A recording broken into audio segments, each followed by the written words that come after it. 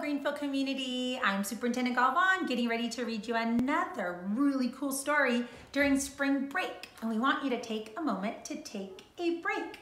So this story is still part of Dr. Seuss Week and this happens to be I can read with my eyes shut.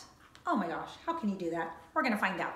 Hola comunidad de Greenfield, yo soy la Superintendente Galván, aquí de la comunidad de Greenfield y leyendo otro libro durante esta semana de descansa uh, descanso. Y quiero que ustedes tomen un tiempo para nomás sentar, disfrutar y oír una historia nuevecita de esta semana. Y todavía estamos celebrando Dr. Seuss y todos los libros que, de, de él. Y también aquí tenemos unos compañeros. Sí, aquí tenemos Madeline, Skippy John Jones y the, the Pete the Cat. And we also, boys and girls, today I have some friends here that I haven't even told you about this week. We have Skippy John Jones is here, Madeline's here, and Pete the Cat's back with his little friend, Pete the Cat himself. And so uh, maybe during this week, uh, next week, we'll start reading some of those stories to you so you can enjoy them. And please keep those comments coming because I love to go find books that you want me to read. So please do that and I will do my best. I Can Read With My Eyes Shut by Dr. Seuss. How does he do that? Did he memorize the story? I don't know but we will find out. I can read in red. I can read in blue. I can read in pickle color too.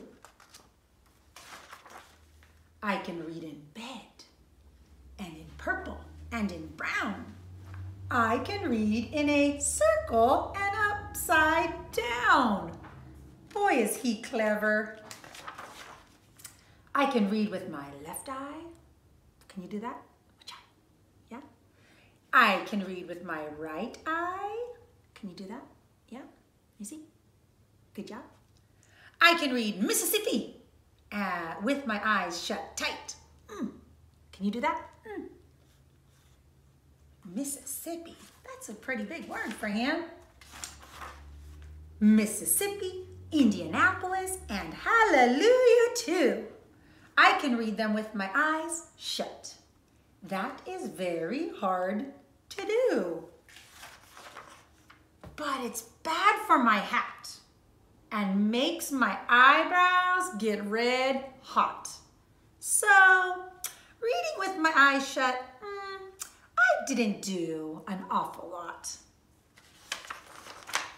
And then, when I keep them open, I can read with much more speed. You have to be a speedy reader because there's so, so much to read.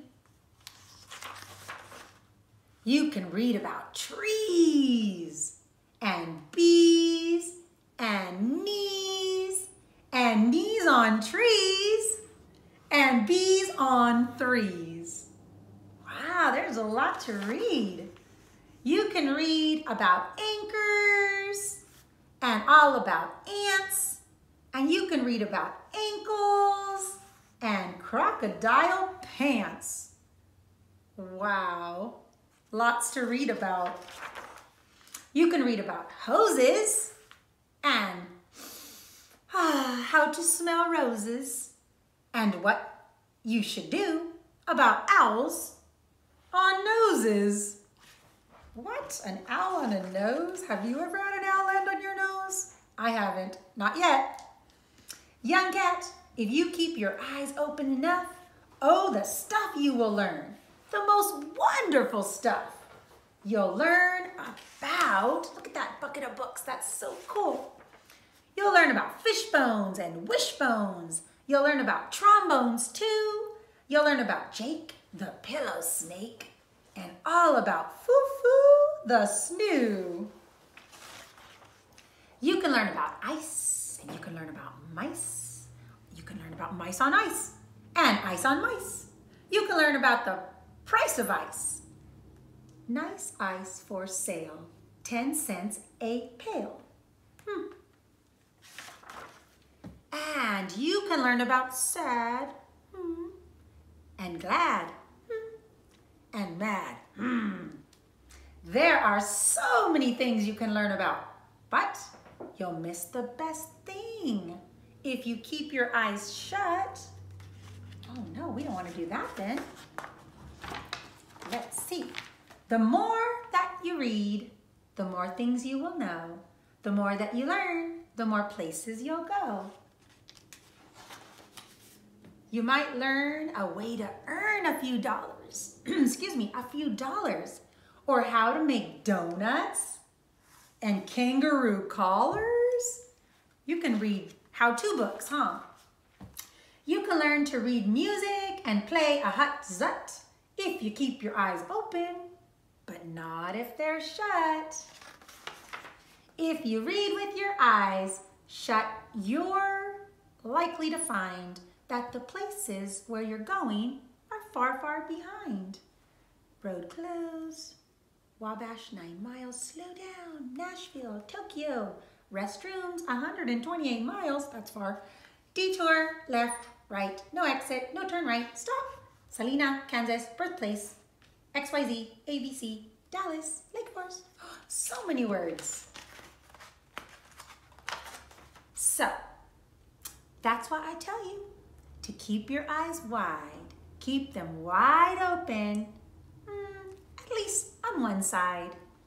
Wow, boys and girls, that was a great book. So I can read with my eyes shut isn't probably the good thing to do because you want to read as many and as many as books as you can find.